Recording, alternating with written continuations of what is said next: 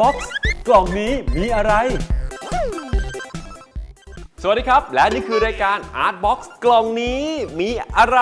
กับพี่อาร์มพิพัฒน์นั่นเองนะครับ เช่นเคยครับวันนี้จะมาสนุกกันกับงานศิลปะของเรากัน แล้วก็มีการเปิดกล่องกันด้วย บอกไว้เลยครับว่าใครชื่นชอบเกี่ยวกับการระบายสีน้ำแล้วก็เตรียมตัวให้พร้อม เตรียมเลอะ เอ้ย เตรียมสนุกกันได้เลยครับ แต่ว่าก่อนอื่นต้องมาช่วยพี่อาร์มคิดกันก่อนครับ รู้ไหมอะไรเอ่ย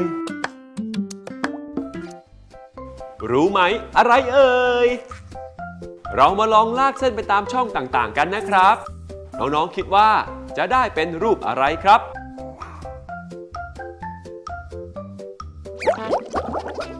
เริ่มจากเส้นจากช่องนี้ เชื่อมไปช่องนี้ ต่อกันที่ช่องนี้ พอลากเส้นเสร็จแล้ว รู้ไหม อะไรเอ่ย เ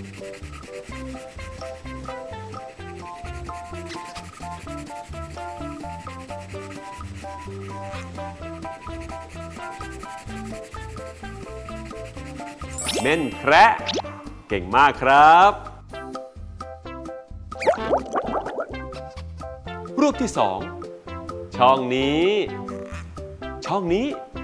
แล้วก็ช่องนี้ ช่องนี้อีกนิดนึงครับ พอลากเส้นเสร็จแล้ว รู้ไหม อะไรเอ่ย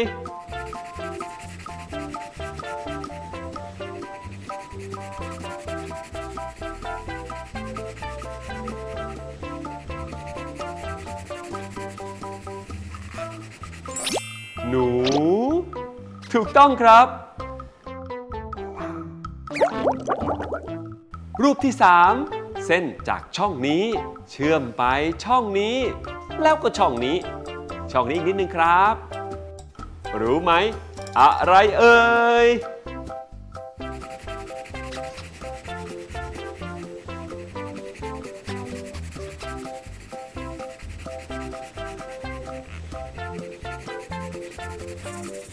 นกแก้ว เก่งมาก ๆ เลยครับ ค่ลากเส้นไปตามช่องต่างๆ ก็สามารถเปลี่ยนให้ช่องต่างๆนั้น กลายเป็นรูปสัตว์น่ารักน่ารักได้แบบนี้เลยละครับ เม่นแคระหนู นกแก้ว น้องๆที่อยากเก่งแบบพี่อาร์มแล้วก็ไปลองฝึกกันดูนะครับ กล่องนี้มีอะไร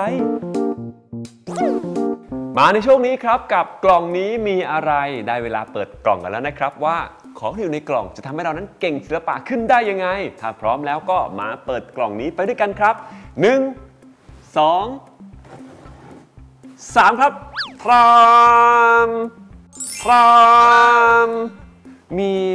ภาชนะที่ใช้ในการใส่ไม่ว่าจะเป็น ถ้วยน้ำจิ้ม ซุป หรือขนมก็สามารถใส่ได้ แต่เจ้าสิ่งนี้สิครับ นี่เลย ภาชนะสีดำ แต่เจ้าสิ่งที่อยู่ด้านในนี้ ดูลักษณะเป็นเกล็ดเกล็ดอู้ผิวสัมผัสแบบเนี้ยพี่อาร์มคุ้นเคยดีครับ เพราะมันอยู่ในห้องครัว นี่ เจ้าสิ่งนี้คือ เกลือถูกต้องแล้วครับ ถ้าหากว่าเรามีเกลือ มีภาชนะที่ขนาดแตกต่างกันแบบนี้ ถ้าอย่างนั้น พี่อาร์มว่า ได้ไอเดียทำงานศิลปะกันแล้วล่ะครับ พี่อาร์มจะนำเอาถ้วยเหล่านี้ มาสร้างสรรค์ให้เป็นรูปร่างของดวงดาว รวมไปถึงใช้ปฏิกิริยาที่เกิดขึ้นจากเกลือกับสีน้ำให้กลายเป็นหมู่ดาวในจักรวาล และถ้าพี่อาร์มทำได้ น้องๆทุกคนก็ทำได้เหมือนกัน ในการทำดวงดาวครับพี่อาร์มก็เลยใช้ส่วนของตัวปากของภาชนะของเราครับ หรือว่าส่วนของตัวปากถ้วยความลงไปแบบนี้ครับ เพื่อจะใช้ตัวดินสอหรือสี ร่างวงกลมให้กลมวิกเลยครับ ส่วนของตัวก้นถ้วยก็สามารถใช้ในการวาดได้เช่นเดียวกันนะครับเอาล่ะ มาต่อกันที่อีกหนึ่งดวงดาวก็แล้วกันนะครับพี่อามก็ล่างลงไปแบบนี้ครับ และอีกดวงหนึ่งก็ใช้มือของเราล่างเองเลยก็ได้เหมือนกัน นี่กลมเหมือนเหมือนๆกันเลยครับ คราวนี้เตรียมตัวมาสนุกกันได้นะครับ นั่นก็คือพี่อามจะใช้น้ำลงลงไปภายในดวงดาวต่างๆ กันครับพี่อามเลือกใช้เป็นน้ำเปล่าเลยนะครับ เราพยายามวงลงไปให้อยู่ในวงกลมนะครับ ที่พี่อามล่างเอาไว้ คราวนี้พี่อามก็จะใช้สี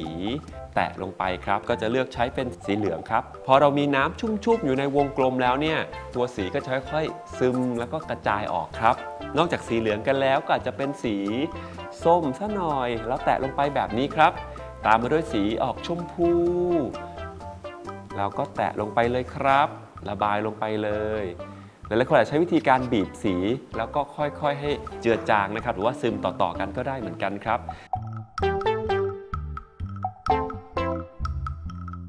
มาต่อกันที่ดวงดาวดวงต่อมานะครับ แต้มลงไปแบบนี้ครับ เพื่อให้สีนั้นวิ่งซึมออกไปให้ทั่ว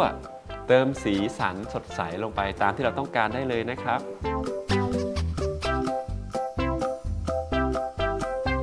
ทำแบบนี้ไปเรื่อย ๆ นะครับ เริ่มที่สีส้มตามมาด้วยสีชมพู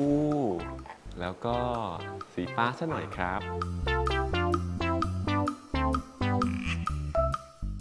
แล้วก็มาที่ดวงดาวดวงสุดท้ายครับ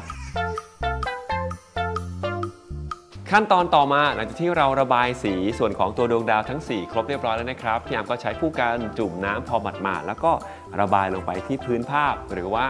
พื้นสีขาวเนี่ยแหละครับเพราะเดี๋ยวเราจะทำให้จักรวาลของเรานั้นมีสี นอกจากสีเข้มดำๆแล้ว เราสามารถใส่สีอื่น ลงไปด้วยกันได้เหมือนกันนะครับ เราก็จะหยอดสีลงไปครับ ในการหยอดสีลงไปนะครับพี่อาร์มก็จะใช้เป็นสีที่ออกเข้มซะหน่อยครับ เช่นน้ำเงิน สีม่วง และก็แน่นอนครับที่ขาดไม่ได้ก็คือ ต้องมีสีดำด้วยนะครับ เพื่อให้เป็นจักรวาลของเรา สังเกตไหมครับว่าในส่วนของตัวสีน้ำเงินที่เมื่อสักครู่พี่อาร์มนี่ลงสีไปก่อนสีดำนะครับ เวลาที่เราลงสีดำทับลงไปเนี่ยตัว จักรวาลของเราครับ สีดำก็จะมีเหมือนกับเป็นประกายลึกๆ สีน้ำเงินเข้มตามไปด้วยนะครับ ใช้สีม่วงลงไปแบบนี้ ตามมาด้วยสีดำครับ เราก็จะเห็นว่า เป็นโทนสีดำที่มีม่วงๆแซมอยู่ด้วยครับ ฝั่งนี้พี่ยามอยากได้เป็นสีดำน้ำเงิน ม่วง ชมพูแล้วก็แดงนะครับ เห็นไหมครับ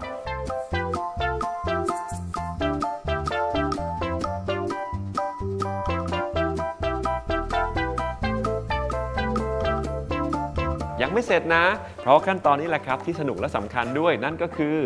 พี่อาร์มจะหยิบเกลือมาครับ มาดูกันนะครับ หลังจากที่พี่อาร์มโรยเกลือลงไปแล้วแบบนี้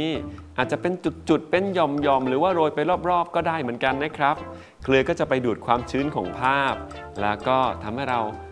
มองลงไปที่ภาพแล้ว เห็นเสมือนกับว่าในอวกาศที่ลึกเข้าไปเนี่ยอาจจะยังมีหมู่ดวงดาวมากมาย ที่อยู่ไกลจากเรานั่นเองแหละครับ เสร็จแล้วครับกับผลงานศิลปะที่เริ่มต้นจากชามแล้วก็ถ้วยต่างๆนะครับ กลายมาเป็นผลงานศิลปะแบบนี้ครับอ้าวมาดูกันนี่เลยครับ ผลงานพี่อาร์มแทนแต่จริงๆ แล้วเนี่ยปล่อยให้เกลือเขาทำปฏิกิริยากับความชื้นสักพักหนึ่งก่อนก็ดีเหมือนกันนะครับ รวมถึงต้องระมัดระวังด้วยว่าสีน้ำที่เราระบายลงไปเนี่ย แห้งพอจะนำมาโชว์หรือยังนะครับ นี่เป็นยังไงแล่ะครับ วันนี้สนุกหรือเปล่าเอ่ยถ้ายังไงอย่าลืมนะครับ ไปทดลองทำกันดูนะ แล้วส่งมาบอกพี่อาร์มกันบ้างครับว่า สนุกขนาดไหนรวมถึงผลงานออกมาน่าชื่นชมเพียงไร และอย่าลืมครับ กลับมาสนุกกันต่อกับสิ่งที่อยู่ในกล่อง และจะมาทำให้เรานี่เก่งศิลปะเพิ่มมากขึ้นในรายการ Art Box กล่องนี้มีอะไร ที่นี่เวลาเดียวกันนี้ครับพบกันใหม่สัปดาห์หน้าทาง ALTV ช่องหมายเลข4 ทีวีเดียสนุกกับ Art Box กล่องนี้มีอะไรนะครับ บ๊ายบาย